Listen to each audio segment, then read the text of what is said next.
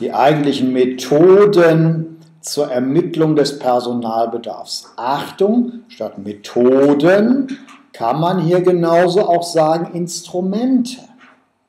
Und es wird der Tag kommen, da heißt es dann Tools. Ja?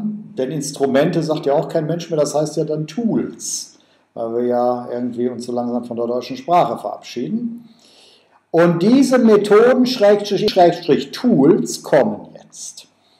Kennzahlen hatten wir gerade schon kurz, ne, kurz erwähnt. Dann die Schätzung. Ja.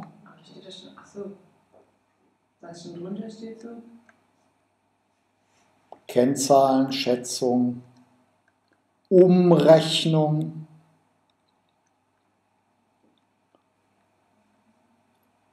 Hochrechnung.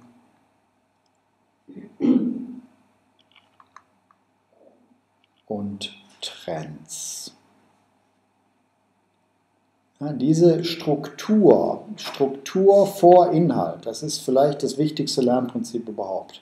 Also wir müssen einsteigen in ein Gebiet, in dem wir uns die Struktur des Gebietes klar machen.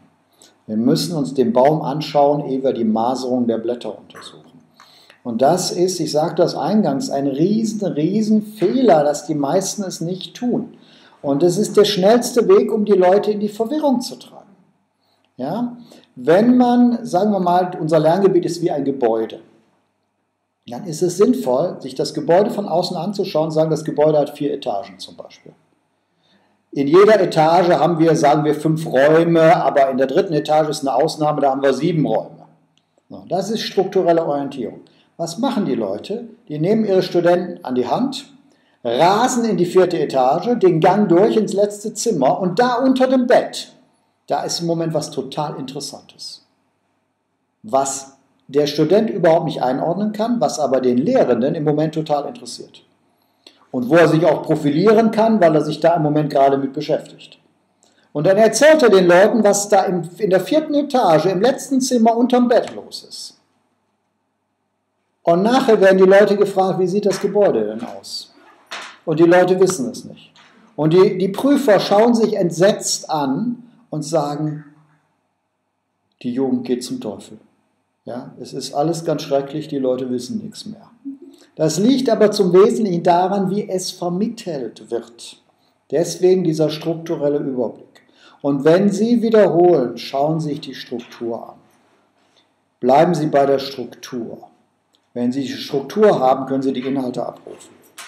Wenn Sie sich auf die Inhalte konzentrieren, können Sie die Struktur nicht abrufen. Das ist der wesentliche Unterschied. Hier ist also ein Schwerpunkt auch, wo Sie auch rein zeitlich länger verweilen sollten als bei den Inhalten. Über die Struktur können Sie die Inhalte abrufen. Das ist das Geheimnis. Unser Gehirn reagiert auf Auslöser. Unser Gehirn behält alles. Ja, es wird alles gespeichert. Das Abrufproblem ist das entscheidende Problem. Das heißt, wir brauchen den Auslöser. Und Auslöser kriegen wir über die Struktur, nicht über den Inhalt. Also das ist die Struktur hier.